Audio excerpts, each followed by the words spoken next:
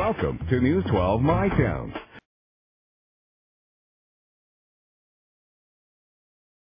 Um, we've been working with Canine Fence Company on actually dog obedience classes, and they suggested to us that as a part of their corporate outreach, that they had uh, a they were distributing oxygen masks to fire departments. So we facilitated that with all of our fire departments in the town, and today marks the distribution of 25 of those masks, with 25 more to come in the coming weeks.